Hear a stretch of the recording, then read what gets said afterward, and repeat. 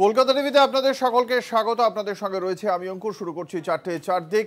আপনারা সকলেই জানেন বিহারে ফের নীতিশ কুমার তিনি ডিগবাজি খেয়েছেন এবং তিনি এই মুহূর্তে ভারতীয় জনতা পার্টির সঙ্গে জোট গড়ে মুখ্যমন্ত্রী পদে ফের আসতে চলেছেন। সকালেই তিনি ইস্তফা দিয়েছিলেন। এবার সেই সময় আরজেডির সঙ্গে তার জোট ছিল। সেই জোটের মুখ্যমন্ত্রী হিসেবে তিনি ইস্তফা দিয়েছিলেন। এবার বিকেল পাঁচটায় তিনি শপথ গ্রহণ করতে চলেছেন বলেই আমরা জানতে পারছি। ভারতীয় জনতা পার্টির পক্ষ থেকে যে আটাত্তর জন বিধায়ক রয়েছেন, তারা নীতিশ কুমারের পঁয়তাল্লিশ জন বিধায়কের সঙ্গে যোগ দেবেন এবং নতুন জোটে উপমুখ্যমন্ত্রী পদে থাকছেন দুজন। বিজেপির পক্ষ থেকে সম্রাট চৌধুরী এবং তার সঙ্গে সঙ্গে বিজয় সিনহা, এরা দুজন নতুন সরকারে উপমুখ্যমন্ত্রী হতে পারেন, এমনটাই জানতে পারা যাচ্ছে এবং বিকেল পাঁচটায় শপথ গ্রহণ করতে চলেছেন নীতিশ কুমার। যে নীতিশ কুমার একসময় বলেছিলেন যে বিজেপির সঙ্গে আর নয়, প্রধানমন্ত্রীর পক্ষ থেকেও পর্যন্ত নাম না করে কটাক্ষ করা হয়েছিল যে জেডিইউ এর ডিএনএ ডিএনএ নিয়ে প্রশ্ন তুলে দিয়েছিলেন প্রধানমন্ত্রী নরেন্দ্র মোদী। সেই ডিএনএতে সমস্যা আছে যাদের সঙ্গে সেই দলের সঙ্গেই ফের জোট গড়তে চলেছে বিজেপি এবং বিহারে বিজেপির জোট সরকার আসতে চলেছে ফলে আরও একটি রাজ্যে বিজেপির শাসন কায়েম হতে চলেছে। আজ বিকেলের পর- থেকে ফলে লোকসভা নির্বাচনের আগে অবশ্যই বিজেপির জন্য হয়তো একটা গুরুত্বপূর্ণ পদক্ষেপ এবং বিরোধীদের একটা ধাক্কা তো বটেই তার কারণ ইন্ডিয়ার শরিক দল থেকে একজন গুরুত্বপূর্ণ শরিক যাকে আহ্বায়কের আহ, জায়গাও দেওয়া হয়েছিল। সেই নীতিশ কুমার তিনি বেরিয়ে যাচ্ছেন, যদিও মমতা বন্দ্যোপাধ্যায় এর আগেই জানিয়েছিলেন যে নীতিশ কুমারের বেরিয়ে যাওয়া আদতে লাভ হবে। কি বলেছেন? এই পরিস্থিতিতে দাঁড়িয়ে ভারতীয় জনতা পার্টির পক্ষ থেকে বিধায়ক এবং পরবর্তী মুখ্যমন্ত্রী, উপমুখ্যমন্ত্রী বিজয় সিনহা কি বলেছেন? আমরা শোনাবো। पाँच बजे हम लोग जाएंगे वहाँ यहाँ से भाजपा में देखिए सभी लोग रहेंगे सभी विधायक रहेंगे विधायक विधान पार्षद सभी लोग रहेंगे आपके नेता की बधाई चलिए धन्यवाद सभी लोगों को धन्यवाद আপনারা শুনলেন ও, যে- যে বক্তব্য নীতিশ কুমার এর আগেও বিভিন্নবার তিনি এরকমভাবেই দল বদল করেছেন। দু হাজার চৌদ্দ সালে যখন প্রধানমন্ত্রী হিসেবে নরেন্দ্র মোদীর নাম ঘোষণা করা হয়েছিল, তারপরেই সতেরো বছরের এনডিএ সঙ্গ ত্যাগ করেছিলেন নীতিশ কুমার এবং সেই সময় তিনি চলে আসেন এবং আরজেডির সঙ্গে জোট করে বিহারের সরকার গড়েন। সেই সরকার থেকে তিনি আবার দু হাজার সতেরো সালে তিনি ফিরে যান এনডিএর সঙ্গী হিসেবে। দু হাজার পরে আবার দু হাজার উনিশের পর দু হাজার কুড়ি সালে এনডিএ সঙ্গ থেকে বেরিয়ে আসেন। দু হাজার বাইশে আবার তার পরিবর্তন হয় এবং আবার দু হাজার চব্বিশের গোড়ায় সেই পরিবর্তন বা ডিগবাজি আমরা দেখতে পাচ্ছি। আপনারা দেখতে পাচ্ছেন দু হাজার তেইশে এনডিএতে নীতিশ যখন ছিলেন, সেই ছবি আমাদের কলকাতা টিভির স্ক্রিনে দুটি উইন্ডোতে তুলে ধরা হয়েছে। সেই ছবি দু হাজার বাইশে মহাজোটে যখন নীতিশ কুমার এবং দু হাজার চব্বিশে আবার ফিরে যাচ্ছেন নীতিশ কুমার, তিনি রাজ্যপালের হাতে তার ইস্তফাপত্র আজ সকালেই গিয়ে দিয়ে এসেছেন এবং তারপরেই জেডিইউ এর পক্ষ থেকে ক্ষোভ প্রকাশ করা হয়েছে যে এই যে ইন্ডিয়া জোটের থেকে বেরিয়ে যাচ্ছেন সে বিষয়ে কংগ্রেসকেই দায়ী করা হয়েছে। জনতা দল ইউনাইটেডের পক্ষ থেকে জনতা দল ইউনাইটেডের পক্ষ থেকে বলা হয়েছে যে প্রধানমন্ত্রী পদপ্রার্থী হিসেবে মল্লিকার্জুন খাড়গের নাম বলিয়ে নেওয়া হয়েছিল মমতা বন্দ্যোপাধ্যায়কে দিয়ে ইস্তফা দেওয়ার পর আজকে ঠিক কি জানিয়েছেন বিহারের বিদায়ী মুখ্যমন্ত্রী নীতিশ কুমার আমরা শোনাবো आप सब लोगों को हम बता देते हैं कि आज हमने इस्तीफा दे दिया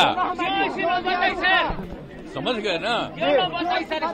आज हमने मुख्यमंत्री से इस्तीफा दे दिया और जो सरकार थी उसको भी समाप्त करने का हमने आज गवर्नर साहब को दे दिया। ऐसी नौबत क्यों आई ऐसी? अरे इसलिए नौबत हुई है कि ठीक नहीं चल रहा था। तो इसीलिए थोड़ी परेशान आप लोग तो हमसे बहुत पूछ रहे थे हम बीच में बंद कर दिए थे कुछ बोलना। तो हम देख रहे थे तो वही सब लोगों की राय अपने पार्टी के लोगों की राय चारों तरफ़ से राय आ रही थी। तो हमने सब लोगों की बात को सुन लिया।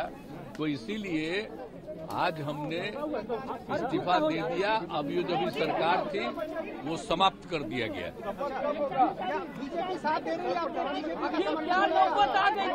आप- आप- गठबंधन को आपको छोड़ना पड़ा। नहीं हाँ। अभी अभी हम जो पहले गठबंधन को छोड़ के नए गठबंधन बनाए थे। और जो नया गठबंधन डेढ़ महीना से बनाए थे डेढ़ हैं? डेढ़ साल से। तो यहाँ पर भी जो स्थिति इधर आकर के ठीक नहीं लगी है और जिस तरह से लोगों का दावा हो रहा था जो इतना मेहनत किया जाता था कि वही लोग ये सब काम कर रहे हैं वो सब जरा धीरे धीरे लोगों को खराब लग रहा है।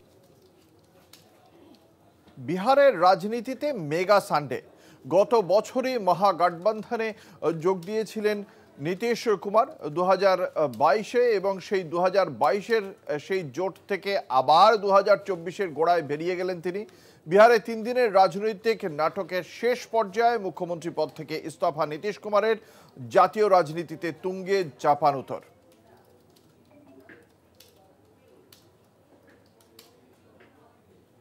দলবদলু পাল্টু কুমার। নীতিশ কুমারের নামের পাশে এখন এই তকমাই লাগিয়ে দিয়েছে রাজনৈতিক মহল। দিন কয়েক ধরেই জল্পনা চলছিল বিহারে ভাঙতে চলেছে জেডিইউ আর জেডি জোট। মহাগঠবন্ধনের হাত ছেড়ে ফের এনডিএ শিবিরে নাম লেখাতে চলেছেন নীতিশ। রবিবার সেই জল্পনাতেই শিলমোহর দিলেন নীতিশ কুমার। রাজনীতির পেশাদার হিসেবে গত কয়েক বছরে তিনি একাধিকবার রাজনৈতিক সঙ্গী বদলেছেন। ধীরে ধীরে দলবদলের সমার্থক হয়ে উঠেছেন তিনি। নীতিশের ডিগবাজি নীতি। উনিশশো আটানব্বই, সমতা পার্টি ছেড়ে বিজেপিতে যোগ। দু হাজার প্রথম বিহারের মন্ত্রী হিসেবে নির্বাচিত। দু হাজার পাঁচ, বিজেপির সমর্থনে বিহারের মুখ্যমন্ত্রী হিসেবে শপথ, পাঁচ বছর ক্ষমতায়। দু আবারও বিজেপির সঙ্গে সরকার গঠন। এবার নীতিশের শাসনকাল সাড়ে তিন বছর স্থায়ী হয়। দু হাজার তেরো, এনডিএ ত্যাগ নীতিশের। বিজেপির সঙ্গে সতেরো বছরের সম্পর্কে ইতি। দু হাজার পনেরো আরজেডি ও কংগ্রেসের সঙ্গে মহাজোট গঠন নীতিশের। দু হাজার সতেরো মহাজোট ত্যাগ নীতিশ কুমারের। বিহারের মুখ্যমন্ত্রী পদে ইস্তফা। পরে বিজেপির সঙ্গে হাত মিলিয়ে ফের মুখ্যমন্ত্রী নীতিশ। দু হাজার বাইশ ফের এনডিএ ছেড়ে মহাজোটে নীতিশ। আরজেডি কংগ্রেস বামেদের সঙ্গে জোট করে মুখ্যমন্ত্রী নীতিশ। লোকসভা ভোটের আগে প্রতিবেশী রাজ্যে পালাবদল বিজেপির সমর্থনে ফের বিহারের মুখ্যমন্ত্রী হিসেবে শপথ নীতিশ কুমারের। এই পরিস্থিতি ইন্ডিয়া জোটকে কতটা অস্বস্তি বা স্বস্তি দেবে সেই দিকেই তাকিয়ে জাতীয় রাজনীতি। কলকাতা টিভি। আপনাদের জানিয়ে রাখি, এই মুহূর্তে একদিকে যখন এই বিহারের পরিস্থিতিটা নিয়ে যথেষ্ট চর্চা চলছে, যে বিহারে আর কিছুক্ষণের মধ্যেই ফের বিজেপির সঙ্গে জোট গঠন করে মুখ্যমন্ত্রী পদে আসছেন নীতিশ কুমার। ঠিক সেই সময় দেশ জুড়ে পূর্ব থেকে পশ্চিমে ভারত জোড়ো ন্যায়যাত্রা করছেন রাহুল গান্ধী। কংগ্রেসের পক্ষ থেকে এই যে ভারত জোড়ো ন্যায়যাত্রা, এই পূর্ব থেকে পশ্চিমে হচ্ছে, এই মুহূর্তে তা আমাদের রাজ্যের উপর দিয়ে যাচ্ছে। জলপাইগুড়িতে রয়েছে আজকে এই ভারত জোড়ো ন্যায়যাত্রা। রাহুল গান্ধী যখন ভারত জোড়ো ন্যায়যাত্রা করছেন তখন কিন্তু এখনও পর্যন্ত তৃণমূল কংগ্রেসের সঙ্গে কংগ্রেসের যে জোটের যে সমঝোতা তা এখনও পর্যন্ত ঠিক হয়নি।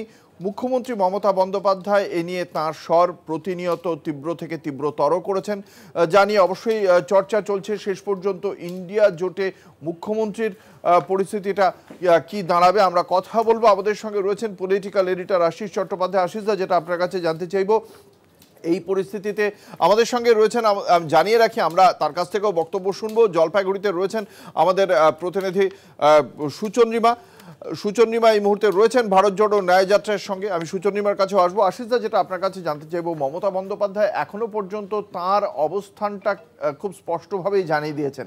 সেক্ষেত্রে ইন্ডিয়া জোটে ইতিমধ্যেই নীতিশ কুমার বেরিয়ে গেলেন। মমতা বন্দ্যোপাধ্যায় একদম সরাসরি বলছেন, এ রাজ্যে জোটের শেষ কথা বলবে তৃণমূল কংগ্রেস।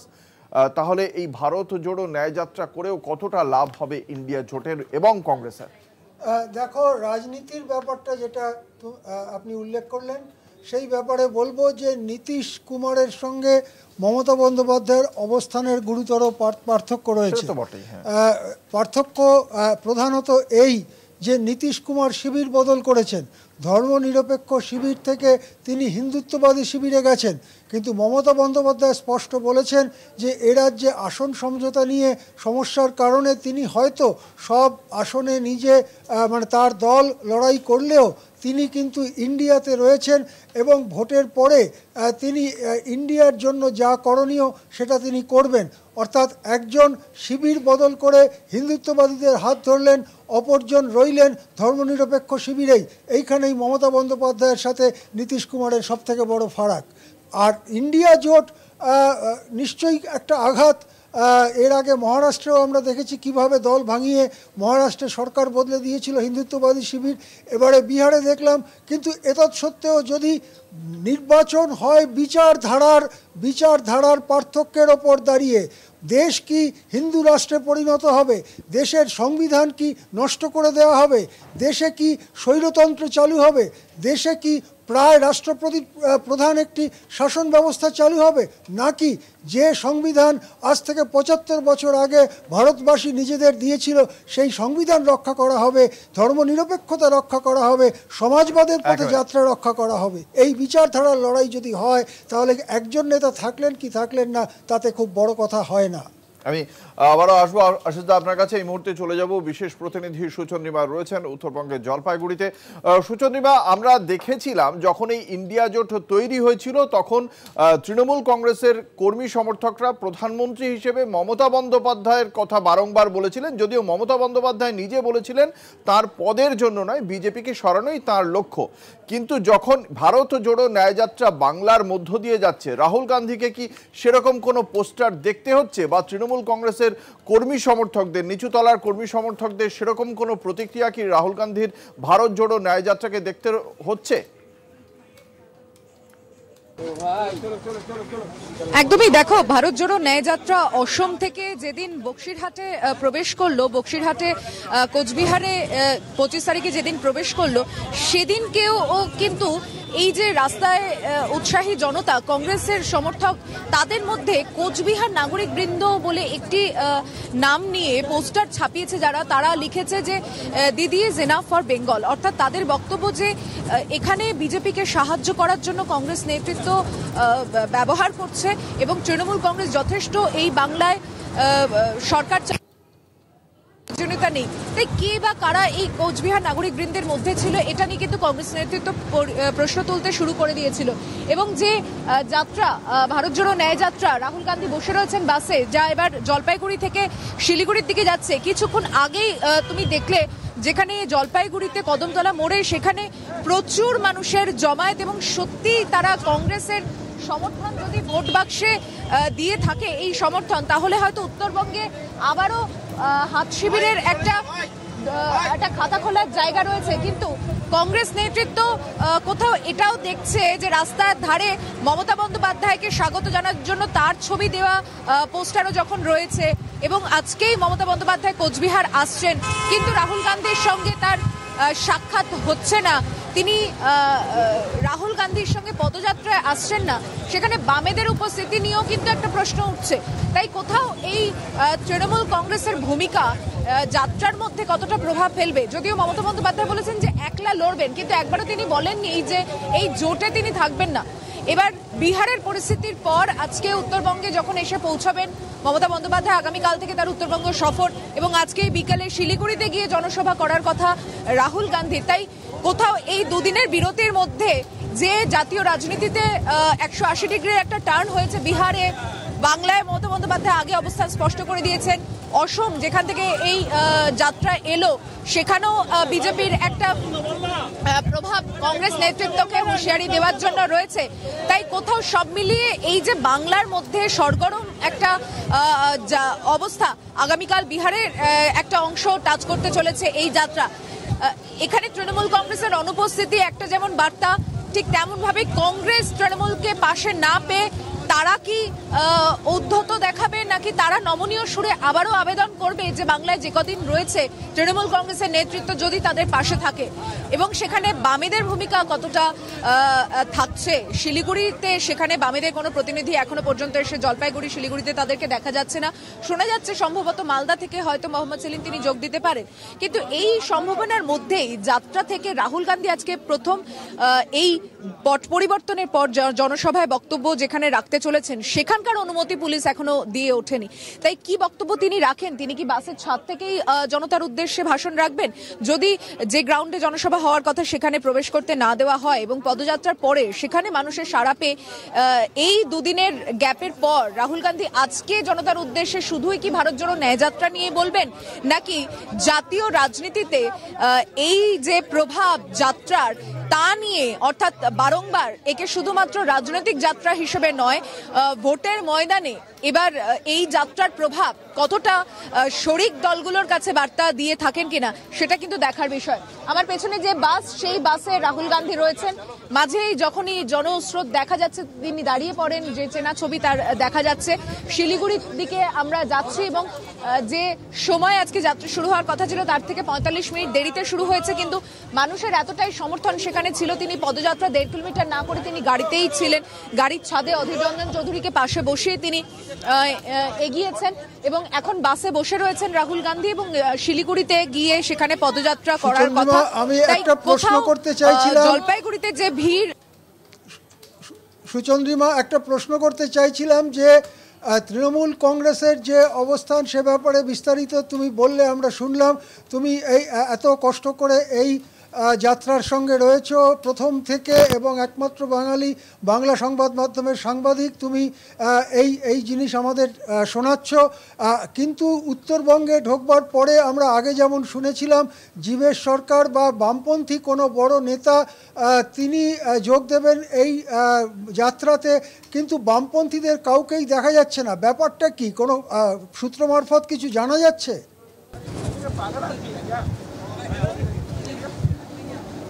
আশিস, আপনি একদম ঠিক দিকটাই ধরেছেন। আমি এটাই প্রসঙ্গটা বলতে যাচ্ছিলাম যে উত্তরবঙ্গে জলপাইগুড়ি পেরিয়ে এলাম, শিলিগুড়ি প্রবেশ করতে যাচ্ছে, কিন্তু এখনও রাস্তার দুধারে কোনো লাল পতাকার কোনো নামনিশান নেই।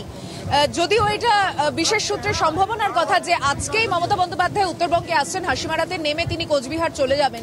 এবং রাহুল গান্ধী সেই কোচবিহারের যাত্রা যে থামিয়েছিলেন পঁচিশ তারিখ, তারপর ফালাকাটা হয়ে তিনি শিলিগুড়িতে প্রবেশ করছেন। তাই ভৌগোলিক অবস্থান যেহেতু তৃণমূলের এবং তৃণমূল কংগ্রেসের একই জায়গায় সেখানে হয়তো বাম প্রতিনিধিরা একটু চিন্তান্বিত হয়ে পড়েছিলেন যে যদি এক টেবিলে বসে চা খেতে হয়, যদি বার্তালাপ ওঠে, যদি কংগ্রেসের আবেদনে দুই দলকে পাশে থাকতে হয় বেরিয়ে আসবেন নাকি সেখানে যুক্তিটা কি থাকবে? তাই সম্ভবত যেটা আমার সূত্র থেকে আমি জানতে পারছি মালদাতে মোহাম্মদ সেলিম তিনি যোগ দেবেন এবং জলপাইগুড়ির পর শিলিগুড়ি শিলিগুড়ির থেকে উত্তর দিনাজপুরের দিকে যাত্রা এগিয়ে যাবে। ইসলামপুরের দিকে আজকে হয়তো রাত্রি যাপন হতে পারে। সেক্ষেত্রে এতটা পথ পেরিয়ে মালদা কেন? মাঝখানে রায়গঞ্জ রয়েছে আহ, মুর্শিদাবাদ রয়েছে সেই জায়গাগুলো কিন্তু কিন্তু কংগ্রেস নেতৃত্ব বলতে পারছে না যে বামেদের টানলে দিদি কি অসন্তোষ প্রকাশ করবে? এটা কিন্তু একেবারে। আশুজা আপনি আমাদের সঙ্গে থাকুন, আমাদের সঙ্গে ছিলেন আমাদের বিশেষ প্রতিনিধি সুচন্দ্রিমা সুচন্দ্রিমা আমাদের সঙ্গে থাকো। একটা ছোট্ট বিজ্ঞাপনী বিরতির সময় হয়েছে। বিজ্ঞাপনী বিরতির পর আবারও ফিরে আসি। সঙ্গে থাকুন। ফিরে এলাম বিরতির পর, আপনারা দেখছেন চারটে, চারদিক আপনাদের সঙ্গে রয়েছে। আমি অঙ্কুর, রাহুল গান্ধীর ভারত জোড়ো ন্যায়যাত্রা এই মুহূর্তে উত্তরবঙ্গের জলপাইগুড়িতে। সেখানে বেশ কয়েকটি জায়গায় কংগ্রেসের কর্মী সমর্থকদের যেতে বাধা দেওয়া হয়েছে বলে অভিযোগ এবং তার পাশাপাশি রাহুল গান্ধীর পোস্টার, কংগ্রেসের পোস্টারও ছিঁড়ে দেওয়া হয়েছে বলে অভিযোগ উঠেছে। বিশদে জানব, আমাদের সঙ্গে সরাসরি রয়েছেন আমাদের প্রতিনিধি কৌস্তব ভৌমিক। কৌস্তব, কি অভিযোগ রয়েছে কংগ্রেসের পক্ষ থেকে? একদমই অঙ্ক আহ, এই অভিযোগটা কিন্তু আজ থেকে না গতকাল থেকে একই রকম অভিযোগ করে আসছেন যারা কংগ্রেসের কর্মী সমর্থক বা জেলা নেতৃত্ব রয়েছেন। যেরকম আমরা প্রথমে জানতে পেরেছিলাম যে জলপাইগুড়ি জেলায় রাহুল গান্ধী প্রবেশ করছে ধূপগুড়ি শালবাড়ি দিয়ে। আর এই কারণে কিন্তু আহ, সেখানেও ধূপগুড়ি এলাকায় রাস্তার দুধারে একাধিক পোস্টার ব্যানার এবং কাটাইট লাগানো হয় এবং জলপাইগুড়ি এলাকাতেও লাগানো হয়। কংগ্রেসের অভিযোগ যে এই অনুষ্ঠানকে বাইচাল পুরোপুরি বানচাল করার জন্য কেউ বা কারা রাতের অন্ধকারে সেই সমস্ত পোস্টার ব্যানার ছিঁড়ে দিচ্ছে যে সব থেকে বড় অভিযোগ আজ আমরা দেখতে পেলাম যখন কংগ্রেসের কর্মী সমর্থকরা দল বেঁধে বিভিন্ন এলাকার থেকে জেলার বিভিন্ন এলাকার থেকে তারা একের পর এক গাড়ি করে তখন জলপাইগুড়ির দিকে আসছিল তারা অভিযোগ করে বলে যে পুলিশ থেকে আটকে দিয়েছে এবং ঢুকতে দিচ্ছে না। কার জন্য বলা যেতে পারে যে অনুষ্ঠান শুরু হওয়ার অনেকটা আগে কিন্তু একটা উত্তাপ ছড়াতে তার পরবর্তীতে কংগ্রেসের কর্মী সমর্থক ছিলেন, তারা কিন্তু এক প্রকার জোর করেই সেই রাস্তায়, শহরের ভিতরে ঢোকার চেষ্টা করে ঢুকেও পড়ে। যেরকম রাহুল গান্ধীর যে আজকে ভারত জোড়ো ন্যায়যাত্রা সেটা কিন্তু পঁচিশ তারিখের পর দুদিন বন্ধ ছিল এবং আজ জলপাইগুড়ি জেলা থেকে শুরু হয়েছে। কাজেই জলপাইগুড়ি জেলার যা সাধারণ মানুষ, তাদের মধ্যে একটা ব্যাপক উন্মাদনা দেখা যাচ্ছিল। সমস্ত রকম রাজনৈতিক দলমত, নির্বিশেষে সাধারণ মানুষ এই ন্যায়যাত্রা দেখার জন্য রাস্তার দুই পাশে দাঁড়িয়েছিল এবং এই কারণে কিন্তু জলপাইগুড়ি বিভিন্ন এলাকাতে এইভাবে পোস্টার, ব্যানার এবং পতাকা দিয়ে সাজিয়ে তোলা হয়েছিল। কাজেই কংগ্রেসের যেটা অভিযোগ ছিল যে কংগ্রেসের শক্তি বাড়ছে এই রাজ্যে এবং পাশাপাশি আগামীকাল লোকসভা ভোট রয়েছে। কাজেই তাদেরকে এই- অনুষ্ঠান করতে বাধা দেওয়ার চেষ্টা করা হচ্ছে।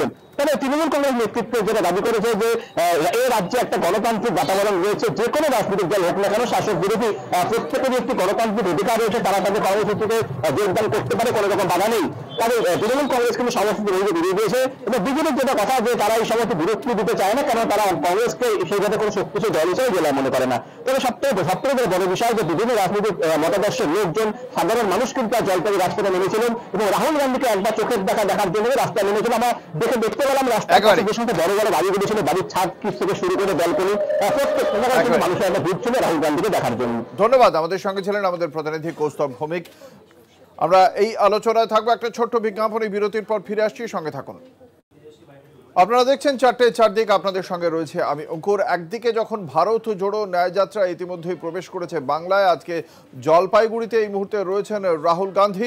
তখন আহ, রাহুল গান্ধীর ভাষণ শেষ পর্যন্ত তিনি দিতে পারবেন কিনা সে কথা নিয়েই একটা সংশয় তৈরি হয়েছে কংগ্রেসের কর্মী সমর্থকদের মধ্যে এই পরিস্থিতিতে দাঁড়িয়ে আহ, কংগ্রেসের পক্ষ থেকে আহ, দলীয় মুখপাত্র জয়রাম রমেশ তিনি কি মনে করছেন রাজ্যে তৃণমূল কংগ্রেসের সুপ্রিমো মমতা বন্দ্যোপাধ্যায়ের সঙ্গে কংগ্রেসের সম্পর্ক নিয়ে তার কি অভিব্যক্তি তার কি প্রতিক্রিয়া আমরা শোনাবো हम उम्मीद करते हैं कि हमें पूरा सहयोग मिलेगा क्योंकि कांग्रेस का मुकाबला पश्चिम बंगाल में बीजेपी है।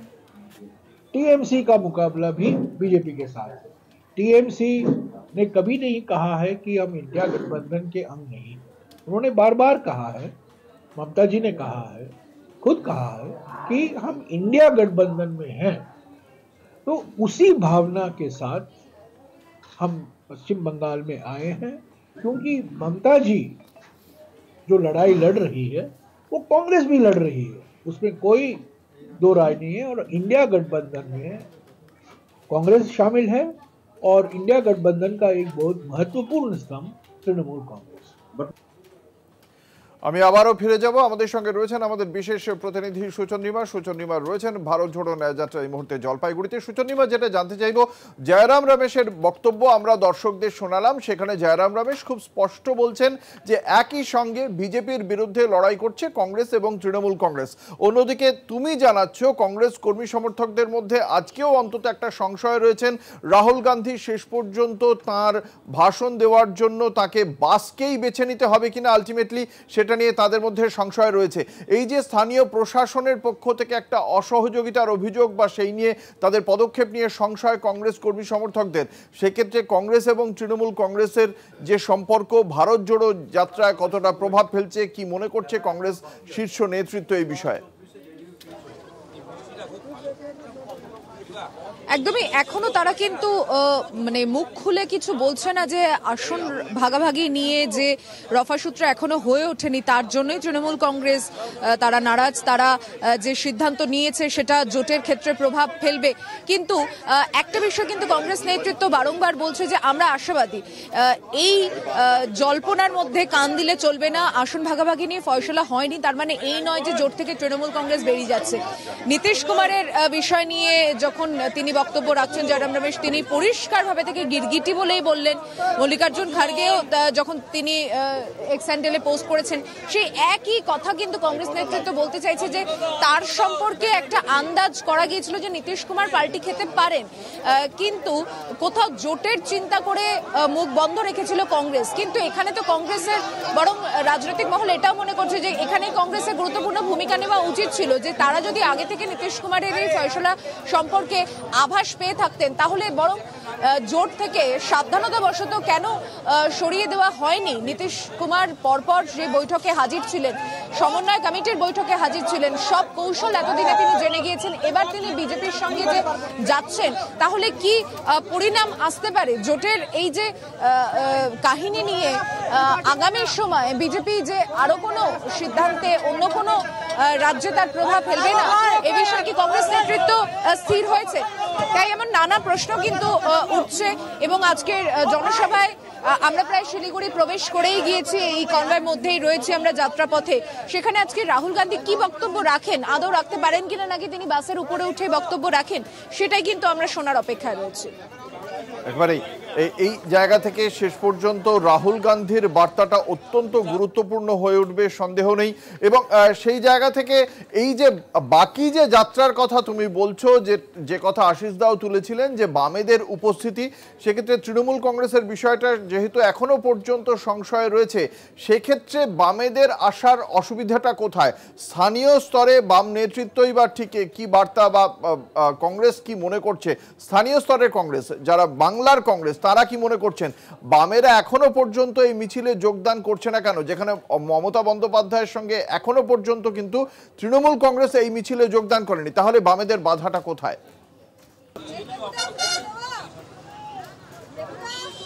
একদমই যতটা মনে হচ্ছে বামেদের উপস্থিতি, আমরা অসমে তাও যে পতাকা দেখতে পেয়েছিলাম, সেখানে রাহুল গান্ধীকে যখন আটকানো হয়, ব্যারিকেড ভেঙে কংগ্রেস নেতৃত্ব যখন এগোনোর চেষ্টা করে গুয়াহাটি শহরে, সেখানেও পর্যন্ত বামেদের উপস্থিতি, এমনকি সেখানে আম আদমি পার্টির পতাকাও দেখা গিয়েছে। তৃণমূল কংগ্রেসের কর্মী সমর্থকরা সেখানে দাবি করেছে যে তাদের উপস্থিতি ছিল, কিন্তু পতাকা কিন্তু সেই অর্থে দেখা সেরকমভাবে যায়নি। এবার বাংলায় প্রবেশ করার পর থেকে কোচবিহারে কিছু গোটা কয়েক পতাকা দেখা গিয়েছিল। কিন্তু জলপাইগুড়ি পেরিয়ে এখন আমরা শিলিগুড়ির দিকে প্রায় পৌঁছে গিয়েছি। কিন্তু একটাও লাল ঝান্ডা এখনও পর্যন্ত দেখা যায়নি। তাহলে কোথাও কি কংগ্রেসও এটা বার্তা দিতে চাইছে যে তৃণমূলের উপস্থিতি এই যাত্রায় এখনও পর্যন্ত যেহেতু হয়নি, সেখানে একটু সাবধানী সিদ্ধান্ত বা সাবধানী পদক্ষেপ করে তারা এগিয়ে যাচ্ছে? মমতা বন্দ্যোপাধ্যায় যে অভিযোগ বাইশে জানুয়ারি মঞ্চ থেকে পাকসাকাস থেকে করেছিলেন যে লেফট ডমিনেটিং একটা জোট এবং সেখানে তৃণমূল কংগ্রেসের কোনো মতামতের দাম থাকছে না। তাহলে কি সীতারাম ইয়েচুরির কাছে কংগ্রেস নেতৃত্ব হাইকমান্ড কোনো বার্তা দিয়েছে? এই প্রশ্ন যেমন থাকছে ঠিক তেমন ভাবে যদি বার্তা দিয়ে থাকে বামেদের উপস্থিতি তাহলে কোথায় দেখা যাবে? যেটা সূত্র মারফত আমি জানতে পারছি, মালদা থেকে হয়তো মোহাম্মদ সেলিম তিনি সেই যাত্রায় যোগ দিতে পারে। কিন্তু সবে তো জলপাইগুড়ি থেকে শিলিগুড়ি এলাম। মালদা আসতে এখনও অনেক দূর আছে। যারা এখনও এত দূরের সিদ্ধান্ত করে নিচ্ছে, তারা কি এই জোটে দূরবর্তী দূরদর্শিতা দিয়ে তারা কি আগামী সময়ে নিজেদেরকে কোথায় দেখছেন? এটা কি কংগ্রেস স্পষ্টভাবে জানাবে? নাকি তৃণমূল কংগ্রেসের কথা ভেবে কোথাও তারাও একটা দূরত্ব বজায় রাখছে এবং ব্যালেন্সটা তৈরি করে চলছেন? আসন ভাগাভাগি নিয়ে যতক্ষণ না সিদ্ধান্ত আসছে বা জোট নিয়ে কোনো সিদ্ধান্ত মমতা বন্দ্যোপাধ্যায় ঘোষণা করছে, যেমন অধীর চৌধুরী কে অনেকটাই আমরা একটু যে ছন্দে দেখেছিলাম যাত্রা বাংলায় প্রবেশ করার আগে, সেই ছন্দে কিছুটা ভাটা যেমন পড়েছে, তিনি রাহুল গান্ধীর সঙ্গেই রয়েছেন এবং যাত্রা পথে তার বক্তব্য এখনও পর্যন্ত কিন্তু সেভাবে সামনে আসেনি।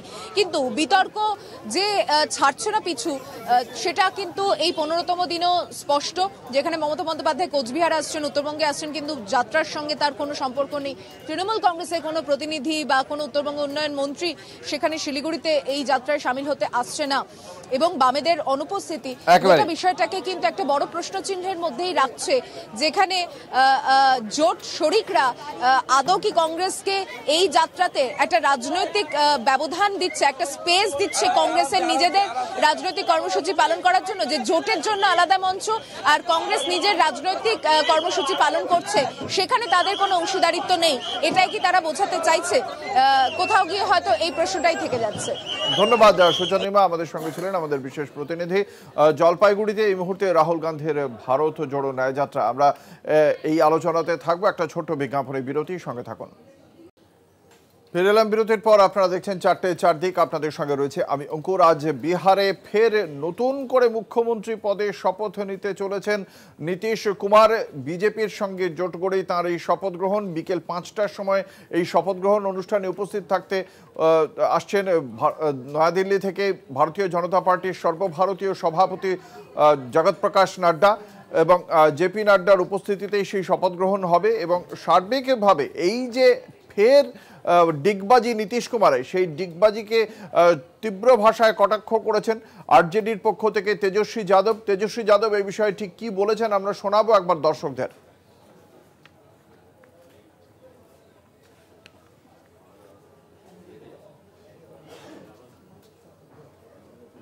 इतना इनसे करवाया जिनका कोई विजन नहीं था जो थक गए थे थके हुए मुख्यमंत्री थे उनको हम लोगों ने इतना काम करवाया तो इतना काम तो हुआ ही है सारा।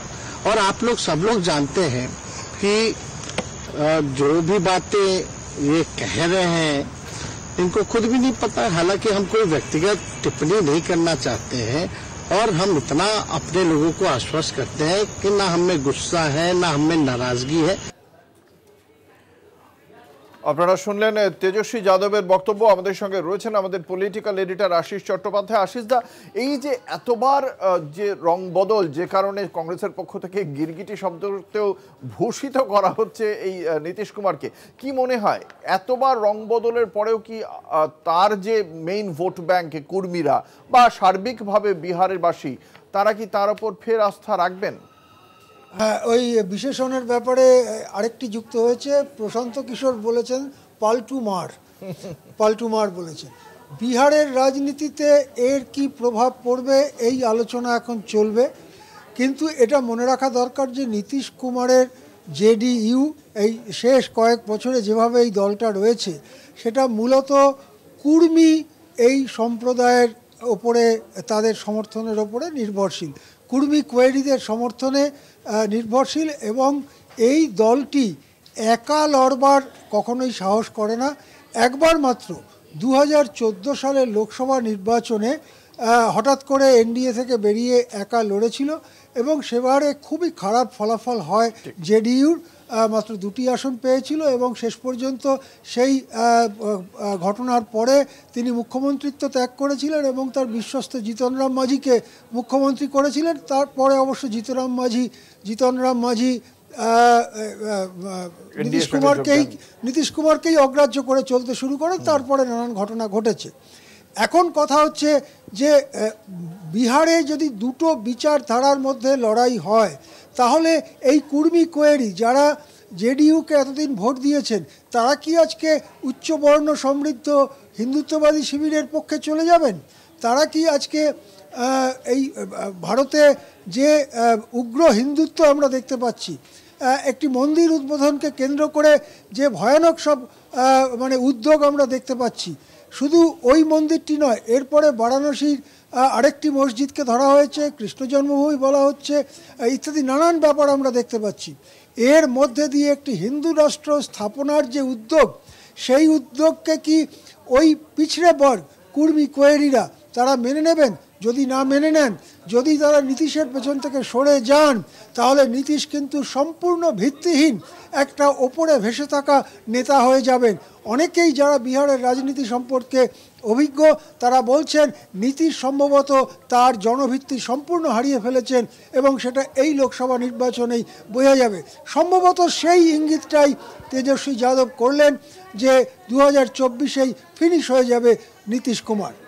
একই সঙ্গে আশিসদা আপনার কাছে জানতে চাইব ভারতীয় জনতা পার্টি তারা এতটা একটা সরকার আহ, কে দখল করার জন্য এই শেষ বাজারে তারা এতটা উদ্গ্রীব হয়ে উঠল কেন? তাদের মানে গেম প্ল্যানটা কি মনে করছেন? অঙ্কুর, খুবই রেলিভেন্ট প্রশ্ন, খুবই প্রাসঙ্গিক প্রশ্ন এটা এবং এটা বোঝাই যাচ্ছে যে লোকসভা নির্বাচন যত বেশি জায়গায় প্রশাসন হাতে রেখে করা যায়, এই একটা উদ্যোগ কিন্তু নেওয়া হচ্ছে যেটা পশ্চিমবঙ্গে ফেল করে গেছে। বিজেপি সেটা পারেনি। কিন্তু এর আগে আমরা মহারাষ্ট্রের ঘটনা দেখেছি। এবারে মানে কিছুটা বদনামের ঝুঁকি নিয়েও বিজেপি নিজে প্রধানমন্ত্রী এবং স্বরাষ্ট্রমন্ত্রী অমিত শাহ, সর্বভারতীয় সভাপতি জেপি নাড্ডা, তারা নিজেরা উদ্যোগ নিয়েছেন, ব্যক্তিগত উদ্যোগ নিয়েছেন, যাতে রাজ্য প্রশাসন, রাজ্য সরকারটা হাতে রাখা যায়। এর একটাই মানে হতে পারে নীতিশ কুমার কিছু সমর্থন নিয়ে আসবেন, সেটা খুব বড় কথা হবে বলে মনে হয় না, সেটা ওরাও জানেন। কিন্তু রাজ্য প্রশাসন, রাজ্য পুলিশ রাজ্যের অফিসার এদেরকে হাতে রেখে লোকসভা নির্বাচনে যেতে চাইছে হিন্দুত্ববাদী শিবির এটাই কারণ হিসেবে মনে হচ্ছে। সেক্ষেত্রে এই এই যদি প্রশাসনকে হাতে রেখে যদি নির্বাচন হয় সেক্ষেত্রে কংগ্রেসের কি আর কোনো ভবিষ্যৎ থাকবে বিহারে? অবশ্যই থাকবে। কংগ্রেস এবং আরজেডির জোট সম্ভবত এবারে বিহারে বড় চমক দেবে বলে মনে করা হচ্ছে। তার কারণ এই যে জাতিগত জনগণনা যেটা আরজেডির এজেন্ডা ছিল দীর্ঘদিন, এই মুখ্যমন্ত্রী নীতিশ কুমারের আমলে সেই দ্রুত গতিতে অত্যন্ত দ্রুত গতিতে জাতিগত জাত গণনা হয়েছে জনগণনা হয়েছে এবং তারপরে প্রশ্ন উঠছে জিস্কা ভাগিদারি তার ততখানি অংশীদারি চাই। অর্থাৎ যদি আজকে বিহারের জনগোষ্ঠীর মধ্যে যাদবদের শতাংশ পঁচিশ শতাংশ হয়, তাহলে যাদবরা একটা ওবিসি সম্প্রদায়। তারা কেন সেই ভাগিদারি পাবেন না চাকরি বাকরি শিক্ষার ক্ষেত্রে ইত্যাদি? এই যে প্রশ্ন, এই প্রশ্নকে কেন্দ্রীয় বিজেপি কিন্তু বারবার অস্বীকার করেছে। কেন্দ্রীয় বিজেপি সারা দেশে জাত গণনা করতে রাজি হয়নি।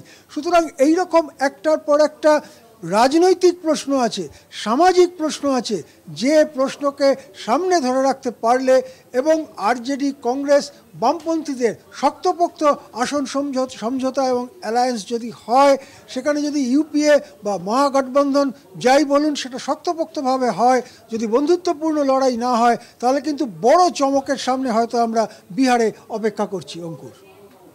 একেবারে আপনি আমাদের আহ, সঙ্গে থাকুন আশিসদা আমাদের সঙ্গে রয়েছেন আমাদের পলিটিক্যাল এডিটর আশিস চট্টোপাধ্যায় এই পরিস্থিতি যখন চলছে তখন কিন্তু আহ, কংগ্রেসের পক্ষ থেকেও পাল্টা প্রতিক্রিয়া দেওয়া হয়েছে কংগ্রেসের সভাপতি মল্লিকার্জুন খাড়গে তিনি কি বলেছেন বিহারের পরিস্থিতি সম্পর্কে আমরা দর্শকদের শোনাবো ये सूचना तो हमको बिहार के डिप्टी चीफ मिनिस्टर और लल्लू प्रसाद दोनों ने दिए थे और आज वो सच हुआ ऐसे देश में तो बहुत से लोग हैं आए आराम गए आराम बहुत लोग हैं।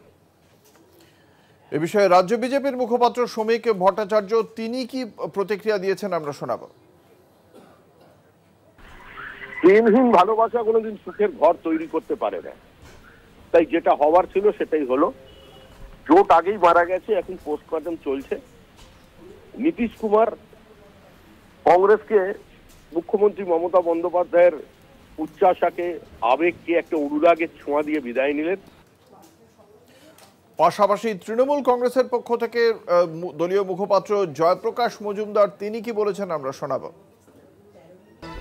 এটা ভারতের রাজনীতির জন্য শুভ ইঙ্গিত নয় শুভ সংকেত নয়। যেখানে মাসল পাওয়ার মানি পাওয়ার এই দুয়ের কাছে ছোট ছোট বা আঞ্চলিক রাজনৈতিক দলের অনেক নেতাকে নথি স্বীকার করতে হচ্ছে। এটা তো অনস্বীকার্য যে ইন্ডিয়া জোটের প্রাথমিকভাবে নীতিশ কুমার অগ্রণী ভূমিকা নিয়েছিলেন।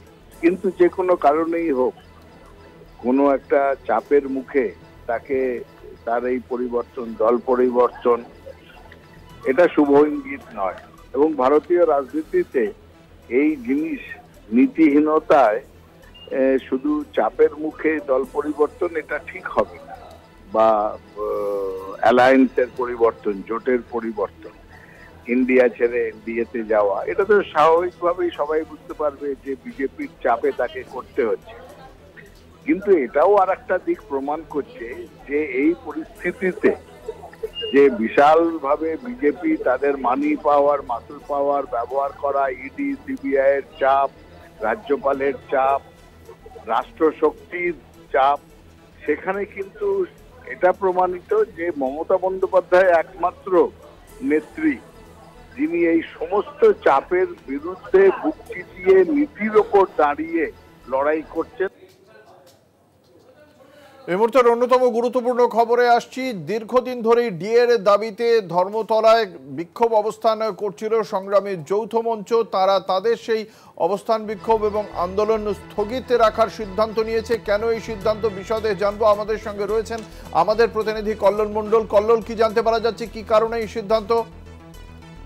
দেখো, তুমি যেটা বলছিলে যে বকেয়া ছত্রিশ শতাংশ দিয়ে অনির্দিষ্ট স্থায়ী যারা অনিয়মিত তাদেরকে নিয়মিতকরণ করা এই সব দাবি নিয়ে যারা এক বছরের উপর হলো আন্দোলন করছেন শহীদ মিনারের পাদদেশে। কিন্তু আগামী দিন, অর্থাৎ উনত্রিশে জানুয়ারি থেকে তারা বিভিন্ন দপ্তরে লাগাতার অনির্দিষ্টকালীন যে ধর্মঘট, সেটা ডাক দিয়েছিল। কিন্তু সামনে মাধ্যমিক এবং উচ্চ মাধ্যমিক পরীক্ষা থাকার কালীন তারা চিন্তা ভাবনা করেছেন অর্থাৎ তাদের যে সিদ্ধান্ত সেই সিদ্ধান্তে বদল ঘটেছে। আপাতত সেই অনির্দিষ্টকালীন যে ধর্মঘটের ডাক দেওয়া হয়েছিল সেটা আপাতত স্থগিত থাকছে। তারা যেটা জানাচ্ছেন যে মাধ্যমিক উচ্চ মাধ্যমিক পরীক্ষা হয়ে যাওয়ার পর তারা মার্চ মাসের প্রথম সপ্তাহে থেকে আবার তারা অনির্দিষ্টকালীন যে ধর্মঘট ধন্যবাদ। আমাদের সঙ্গে ছিলেন আমাদের প্রতিনিধি কল্লোল মণ্ডল। কি বলেছেন সংগ্রামী যৌথ মঞ্চের আহ্বায়ক ভাস্কর ঘোষ শোনাবো। সাধারণ মানুষকেও যোগ করে এই ধর্মঘটকে আরও শক্তিশালী করার চেষ্টা করি আর অনশন কর্মসূচি যেমন চলছে সেরকম চলবে। আমরা এই অনশন কর্মসূচিকে আবার নবান্নের সামনে স্থানান্তরিত স্থানান্তরিত করার চেষ্টা করব মাধ্যমিক উচ্চ মাধ্যমিকের ঘোষণা করছি যে এই যে অনশন মঞ্চ আমরা এতদিন থেকে অনশনে এখানে আছি সরকারের টনক টনেনি এই অনশন মঞ্চকে আমরা নবান্নের সামনে নিয়ে যাওয়ার জন্য মানে পুলিশের কাছে আবেদন করছি। যদি না মেলে তখন হাইকোর্টের দ্বারস্থ হয়ে সেই অনশন মঞ্চ ওখানে নিয়ে যাওয়া হবে। এখন এ পর্যন্তই। দেখতে থাকুন কলকাতা টিভি রাত দিন সাত দিন।